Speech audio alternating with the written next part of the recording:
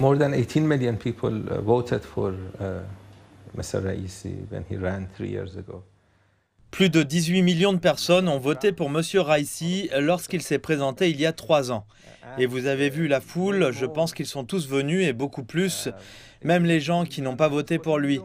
On ne veut pas que le président du pays meure dans un accident aussi tragique. Il est donc difficile pour certaines personnes de s'adapter et de croire ce qui se passe. En vertu de l'article 131 de la Constitution iranienne, le président en exercice, qui était le vice-président de Massala, ainsi que le chef du pouvoir judiciaire et le président du Parlement iranien, le Majlis, sont censés organiser de nouvelles élections dans un délai de 50 jours. Dans deux mois environ, le nouveau président de l'Iran devrait être élu. La politique intérieure et internationale de l'Iran dépendra du nouveau président. Certains candidats appartiennent au camp des réformateurs. S'ils remportent la présidence, je pense qu'ils voudront revenir au JCPOA et résoudre certaines des difficultés que l'Iran a rencontrées avec les gouvernements occidentaux. Je ne suis pas sûr que les gouvernements occidentaux, en particulier les États-Unis, soient prêts à le faire.